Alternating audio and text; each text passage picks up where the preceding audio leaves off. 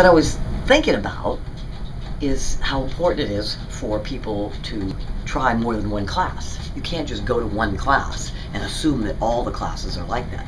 There's different instructors, there's different formats, there's different levels of intensity. So you can't just go to one class and decide that wasn't for you because it was too challenging or maybe you didn't like the personality of the instructor, that that instructor's personality didn't, lap, didn't match yours. Maybe you like somebody, a, class that's a little more cheerleading like, a little more fun, a little more wild and crazy uh, than the class you took. So you need to you need to try more than one class. Maybe you go to a class and you're 50 years old, and everybody in the class is 21 years old, and you feel really out of it. They're not all like that. We have lots of classes with all, sorts of different age groups, uh, playing all kinds of different music. We have any. Maybe you want something very calm. Maybe you're a professional athlete and you want something incredibly challenging and tough. We have everything in between those two. So keep trying. Go in, stand by the back door. That's a great thing. Stand by the back door. Leave after 10 minutes if it's just, you feel like it's not for you. Um, it's always a great idea to wave at the instructor as you walk out, though, because they might think there's something wrong and follow you out. Um, but uh, nobody's going to point you out or yell at you if you walk out of the class. It's just try it for a few minutes. If you have to leave, you have to leave. It's fine. Stand by the back door or wherever's comfortable. Um, I was just thinking of a conversation I had with a lady who was saying she thinks she might want to try a group class because she was kind of feeling like she wasn't really proceeding well with her fitness, uh, trying trying it by herself. So she said, I was thinking about maybe just starting out with simply stretch.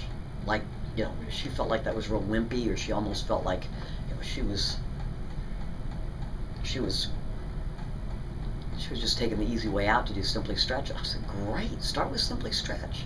Start with that. Get used to the room. See how see how a class is formatted. Get used to the way every every everything is in the room and how the room feels so you're comfortable in your environment and then maybe you watch a little bit of the next class and say gee maybe I'll I'll stay for that class this next time um, simply stretch is a great way to start out those classes are fabulous you feel great after you if you do a stretch class and not necessarily high intensity um, either but that's a great way to start lots of 30 minute classes 30 minutes. Yeah, just about anybody can fit 20 to 30 minutes into their schedule if you don't think you have enough time.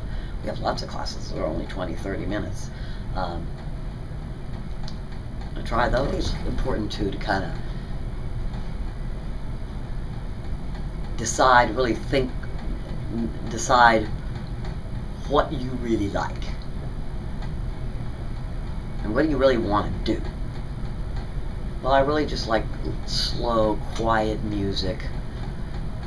I just want to relax. I just want to relax because I'm so stressed. I, have a high intensity job. Um, I know I need cardio, but uh, but in a class situation, I feel like I just I, I want I want to feel peace and quiet. Yoga classes. We have yoga classes all over the place. Uh, again, are simply stretch classes. We have all different kinds of yoga classes. Again, if one doesn't suit you, try another one. Don't just assume they're all like that because they're not. All different. We have 80 different instructors, 920 classes a month. Um, oh, I, I, I grew up dancing. I just love to dance. Dance attack, Zumba, something like that. Trina's uh, Tuesday, Thursday morning cardio class. I can't think of the name of right now because um, we just changed it not too long ago. Uh, that's that's what you would. You feel like you have two left feet, um, but you want some basic cardio. Maybe you want to do power cardio. Very very basic. Um, something other. You like variety. You don't want any type of coordination. You don't want anything, any rhythmic dancing, any choreographed dance type moves at all circuit classes. You, you go from one station to another. You have a station of Bosu set up. You have a station of stability balls over here. Maybe you have jump ropes over here. And the instructor takes you through every station and, and allows you to uh, do a lot of different things. The class goes by real fast. Lots of variety.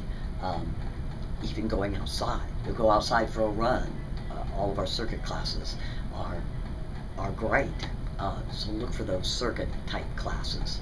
Um, cycle classes, you just, again, you don't feel like you have any rhythm. You, you don't want anything choreographed. You don't want to have to move to the beat of the music. Um, but you want cardio. Somebody's told you, your doctor told you, you need to do more cardio. Cycle classes, incredible. Get your heart rate up, just an amazing um, amount of cardio uh, in a in a fun group atmosphere. Again, uh, same thing. Every single class and every single instructor has their own style and type of music that they play.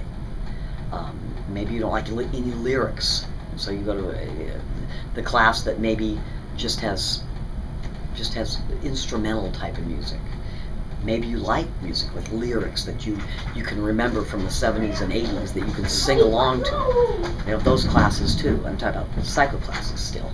Um, cycle classes are so easy. Don't let cycle classes intimidate you either because the room is dark. You go sit on a bike and you just start pedaling. Uh, we have a monitor, and the instructor will say. Uh, bring your lever up so your monitor says level 12.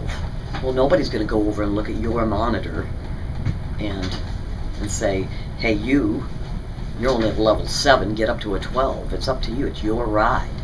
You go to whatever level you want. The instructor's only there to suggest that you should be at level 12. Nobody knows how you. You could be riding with no tension at all on your lever. So you're just you're, you're riding the whole, just come in there and ride. Don't even use the resistance. Um, just to get an idea about bike fit and what it feels to be in a cycle class. Don't let cycle classes intimidate you. They don't have to be. They don't have to be high intensity. Uh, they can be if you follow everything the instructor says, but nobody's gonna. Nobody knows what level you're at. You're the only one that can look at that monitor and know what intensity you're cycling at. Um, the room is dark, for heaven's sake. I mean, if anyone has a question about how to get started or what class to go to, I am thrilled to talk to them on the phone, on an email.